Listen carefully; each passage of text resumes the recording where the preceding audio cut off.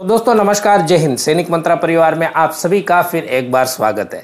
दोस्तों ओ R O P और O R O P के एरियर को लेकर बहुत सारी विभिन्न अपडेट्स अभी तक आ चुकी है, लेकिन आज की ये अपडेट वाकई में एक खुशखबरी है।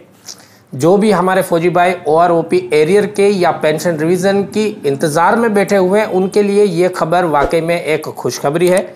जैसे कि आप सभी को पता है कि मार्च 2022 में सुप्रीम कोर्ट ने ओआरओपी केस का एक फैसला सुनाया था, जिसमें सुप्रीम कोर्ट ने यह कहा था कि तीन महीने के समय में ओआरओपी के एरियर को सरकार की तरफ़ से दे दिया जाना चाहिए। अब वो तीन महीने का समय भी पूरा हो चुका है, लेकिन ना तो पीसीडीए की तरफ़ से, ना डिफेंस मिनिस्ट्री की तरफ़ से कहीं से भी इस बारे में कोई भी अपडेट नहीं आई थी।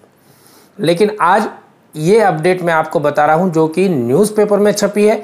पिछले मंगलवार को प्रधानमंत्री महोदय ने तीनों सेना प्रमुखों के साथ में बैठक की और इस बैठक में उन्होंने आश्वासन दिलाया है कि ओ एरियर के डिस्बूसमेंट के लिए 2000 करोड़ रुपए का पैकेज सरकार की तरफ़ से घोषित कर दिया गया है और ये आने वाले वीक्स में दे दिया जाएगा और इस पैकेज को ओ एरियर के डिस्ट्रीब्यूशन के लिए काम में लिया जाएगा। इसके अलावा तीनों प्रमुखों के साथ में अग्निपथ योजना के बारे में भी प्रधानमंत्री महोदय ने चर्चा की है।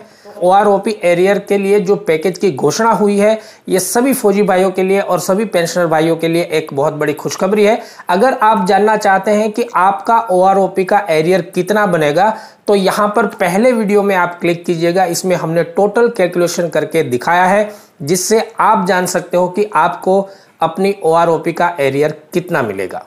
और दोस्तों, आप पेंशन आ चुके हैं रिटायर्ड हो चुके हैं और एक अच्छे बिज़नेस की तलाश में है तो यहाँ पर इस वीडियो में हमने बताया है कि आप किस तरह से एक अपनी सिक्योरिटी एजेंसी खोलकर एक बड़ा बिज़नेस बना सकते हैं।